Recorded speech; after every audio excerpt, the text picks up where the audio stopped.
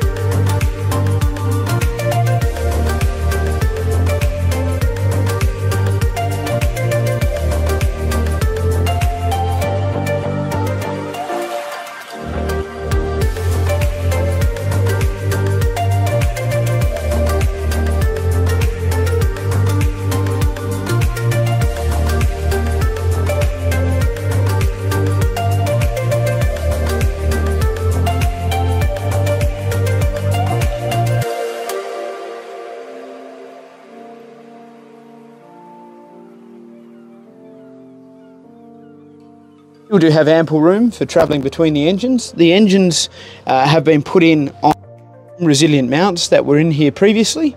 Uh, the gearboxes are rear mounted and so because the existing Z gearboxes have been reused, there's actually been no change. So only the front mounts have been changed. Um, had the pleasure of working with Taylor Marine out of Geraldton on this particular installation. So you can see looking here from the front, uh, the engines here do sit in quite neatly. We've got a little bit more space at the front, which is great, and ample room to come all the way around the side. Uh, here you can see we've got all of our ECUs, our relay boxes, our CAN bus converters, and the big grey one. Uh, control box for the throttle in there. Seawater inlet, you can see runs on the starboard side of the motor through this pipe here, uh, 45mm inlet diameter. At the rear you can see we have a pair of Filters with the clear bowl on the bottom for inspection. They run up and run directly into the FPT filters you can see sitting right there and from there into the engine there's a third filter just down here. They are engine so here we have the common rail sitting up on the rail here. Um, this particular installation does allow for, for quite good access really for a 32 foot vessel compared to a lot of other vessels on the market so really is accessible from the top of these engines over which makes life quite easy for serviceability all the way around. Um, relatively quiet on the anti-vibration mounts they have really ensured that we don't have any vibration all the way through the rev range. They are quite quiet actually as well uh, out the exhaust on these particular units here uh, to give you an idea on fuel consumption, we're burning around about 35 litres per hour per engine at cruise. So looking up at the lower helm, there is a second station, the flybridge station right at the top of the game tower on this particular vessel. Uh, you can see here that we have the two deluxe compact screens, which gives us a great bit of information in regards to cooling temperature, oil pressure, and fuel rate instantaneous in litres per hour, as well as a trip, total hours, and of course the RPM. Page 2 gives us a lot more information in regards to battery voltages, fuel temperatures, torques, fuel, um, boost pressure, as well as the air intake temperature. And as you can tell, it's quite warm here in Exmouth at the moment, intake sitting at 45 degrees. Uh, fuel trip is a great one, so you can swipe down and reset your trip.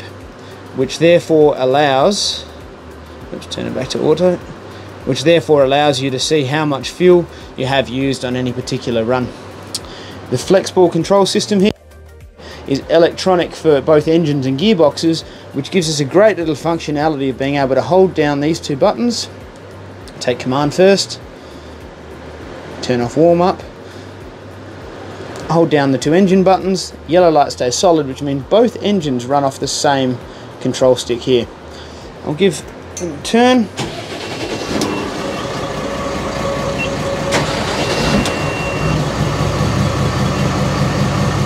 Reset. We can give them a little rev here. Oops, green gear. Take that out.